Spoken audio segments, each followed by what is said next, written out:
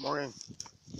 Well, it's morning here, but I wanted to make a video because if you don't know, the churches of today, the Christian churches of today, which are supposed to be the light of the world, which are supposed to be the hand of God in the earth, is so corrupt that many things it practices and the principles it uh, once stood for are corrupt as well. When, when you go into church, Jesus, is, the name of Jesus is spoken and he's called Lord. But really and truly, if you try to enforce anything Jesus says in the church today, you are met with contempt and uh, disgust. People today are like the people in the Bible who, who are crying, Lord, Lord, or calling upon the name of Jesus, but they're actually working for the devil. Okay, so the name of Jesus it, that once uh, carried power in the earth is now become a social, a social name to associate yourself with a certain class of people. That's why many people of today are being called Christians, which in Christians were uh, first called Christians in uh, the book of Acts in Antioch uh, this name was associated with people who actually followed Christ. Now, I, I don't know if I could be wrong, but I, I assume the word follow Christ means obey every Christ, uh, Christ every leadership. So Christ is lead, you follow Christ's leadership, or you obey Christ's leadership as head, he's head over you, and then you are called a Christian. But in today's uh, life, you can associate yourself with a certain crowd and be called a Christian anyway, even though you work for the devil, okay, and you don't follow Christ. And in today's day, many people do not follow Christ. In churches now, the churches are filled with women witches. I haven't seen so much uh, warlocks or or uh, wizards, but there have been some in the forms of uh, people who are members of cults who join uh, churches. Then there are uh, people who come out of cults who still seem to have some sort of behavior problem associating uh, that's that's usually associated with their practices of the cult who come into the churches and struggle with these practices. So you have a lot of witches, warlocks but you see, the church is like a hospital because Jesus said he came not to call the righteous, but the sinners to repentance. Sinners to repentance. Now, if you don't understand that, he didn't come to save the whole, but the sick. So the church is like a, a hospital where the, the, the patients seek uh, better health for themselves, for their souls, for their bodies, okay, for their minds. But what is happening today is that churches are going after quantity, but God is going after quality. If I can say that again, churches appear to be going after quantity, uh, the amount, the numbers, and quality. Also, churches are practicing deception. When Jesus practiced practice uh, open truth, churches now practice a lot of deception and it has to make up the numbers and that's why it needs members.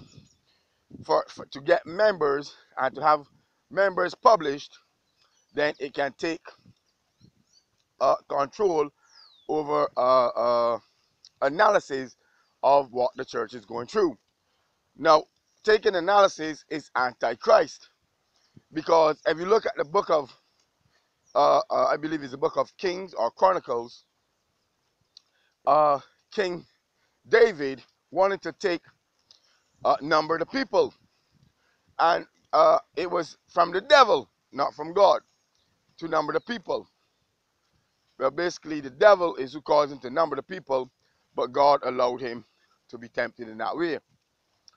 And so, the, the many people were destroyed by uh, uh, because he numbered the people.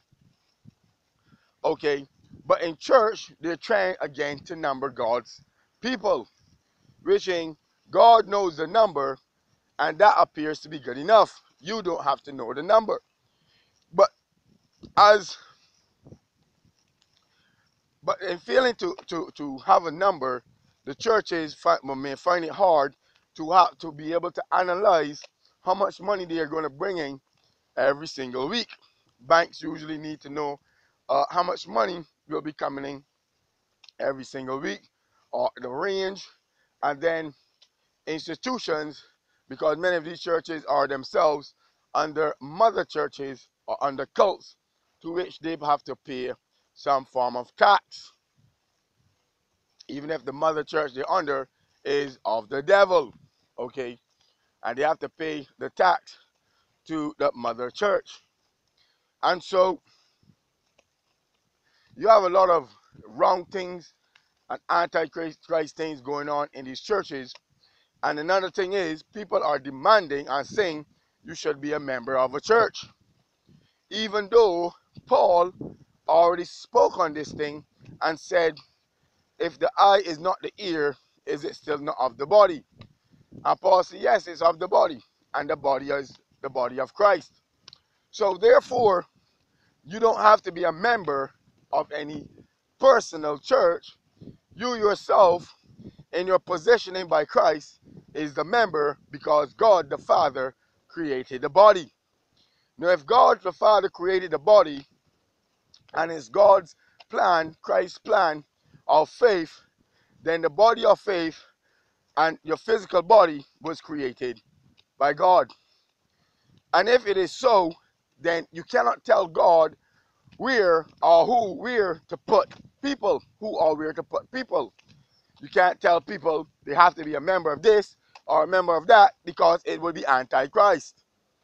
If Christ have associated a person a job, no one else should come to that person and tell that person he has to do the job of this or that. That is like a toe telling the eye you have to behave like an ear. And so we have a lot of that going on around, and people are telling people they have to be a member of some church or denomination. But the Bible also again warns against this when the Bible makes it clear in the book of Revelation that these people that are members of this church or this church, they had this good thing. They had evil people among them. They were this, they were this, they need to be cleaned up. And there were very little said to these denominational churches. Good said to these denominational churches. Very little said. And so, a, another scripture that says, He that covers with a covering that's not of my spirit is not of me. So, God is saying, if you leave me, this is what it seems to me. If you leave me and go covering with something or some person, and that person is not of me, then you're not of me.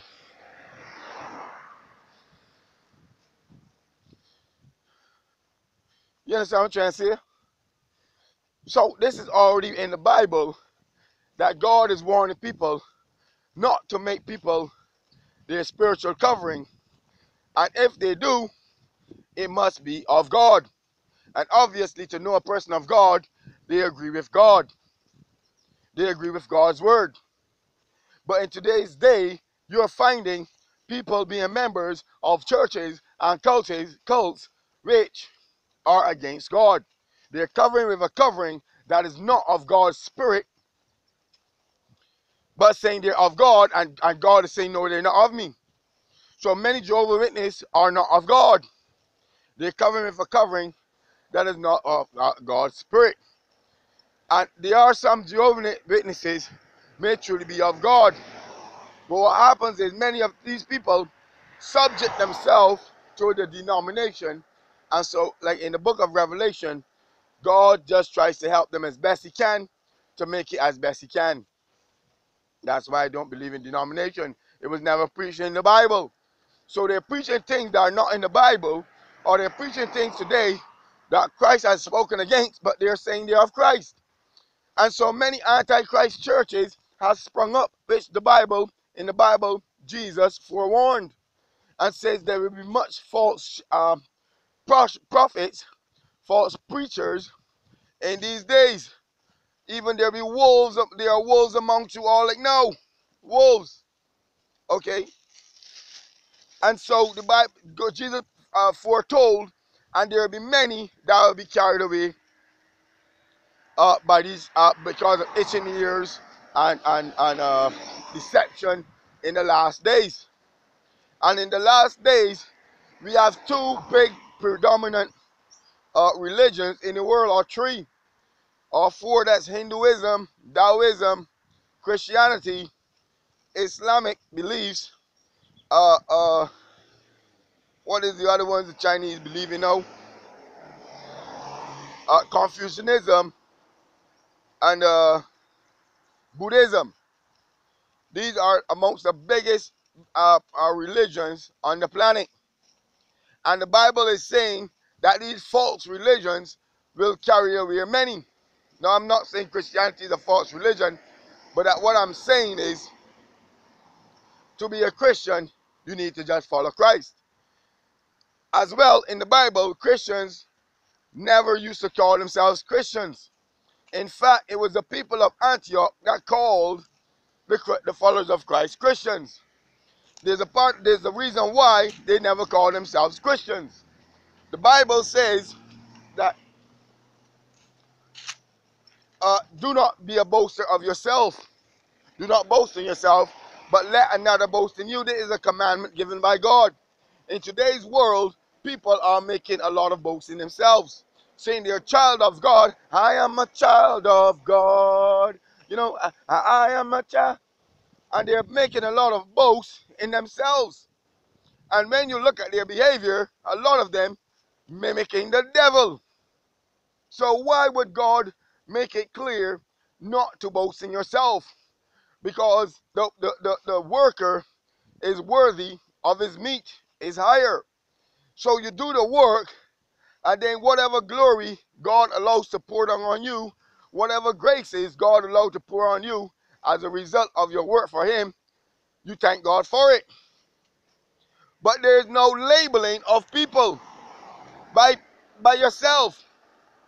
It, you can be labeled by people, or you can be accentuated by people.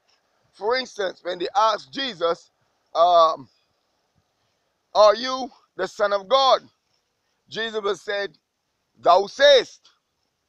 So Jesus uh, corrected what the person was saying without having to boast in, in himself.